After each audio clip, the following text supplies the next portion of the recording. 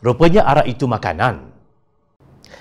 Ingat lagikah apa kata ahli Majlis Syura Ulama PAS, Datuk Dr. Muhammad Khairuddin Aman Razali, ketika beliau belum bersama menebuk atap untuk membentuk Kerajaan Perikatan Nasional bersama Bersatu, AMNO, MCA dan MIC tentang pengambilan arak. Ahli Parlimen Kuala Nerus itu meminta Kerajaan Pakatan Harapan tidak menangguhkan pindaan Akta Pengangkutan Jalan 1987 Akta 333 bagi meningkatkan hukuman lebih berat kepada pemandu mabuk. Katanya pindaan tersebut bagi mengatasi gejala pemandu mabuk sehingga menyebabkan banyak kematian orang awam. Malaysia adalah sebuah negara Islam jadi amat wajar sadanan itu dipertimbangkan katanya dalam satu kenyataan yang dipetik sinar harian pada 14 Februari 2020.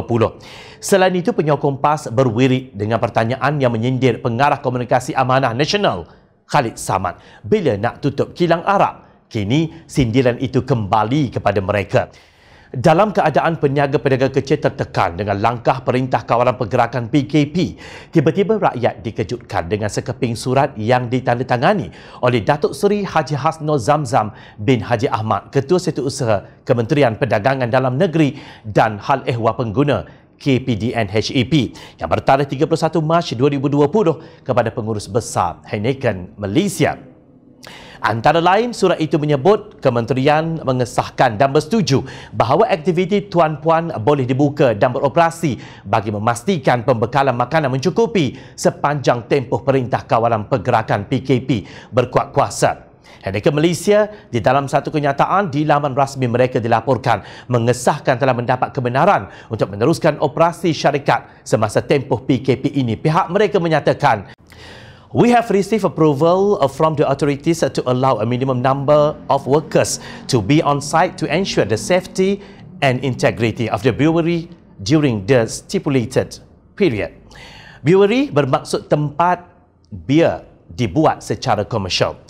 Naib Ketua Pemuda Amanah Perak Muhammad Fitri Asmuni menyenaraikan 15 jenis kerja atau sektor kritikal sahaja yang diberi pengecualian oleh kerajaan untuk terus beroperasi. Ia termasuk makanan, air, tenaga, komunikasi dan internet, pembersihan, perubatan dan perbankan.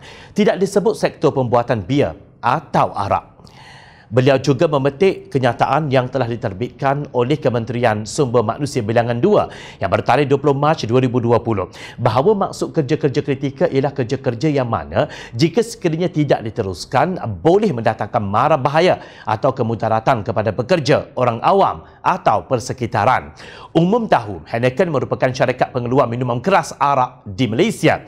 Adakah ini bermakna Kerajaan Perikatan Nasional telah mengklasifikasikan syarikat pengeluar arak di dalam sektor kritikal yang setaraf dengan pengeluar makanan? Arak adalah minuman yang diharamkan kepada seluruh umat Islam. Pengharamannya jelas di dalam Al-Quran. Dari sudut kajian saintifik, ia juga tidak baik dan berbahaya kepada akal dan tubuh badan manusia. Oleh itu, dari sudut kesihatan dan manfaat kepada manusia, sebenarnya ia juga tidak baik kepada bukan Islam, kata Fitri.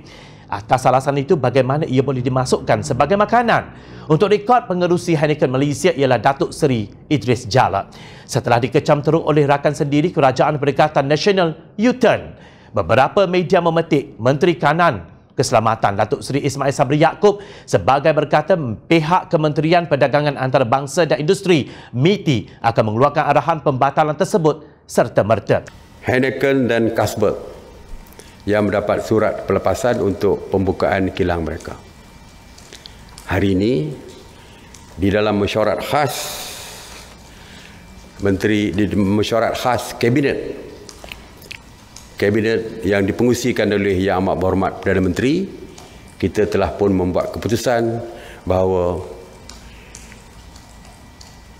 kelulusan yang diberikan itu terbatal ataupun dibatalkan pihak MITI akan mengeluarkan surat pembatalan serta merta.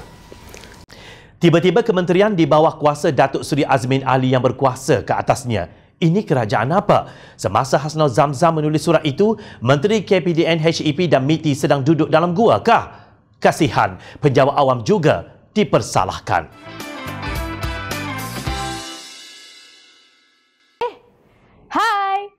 Jangan lupa klik kanan untuk rentasan berita, klik kiri untuk keratan berita. Dan jangan lupa untuk subscribe kami tahu.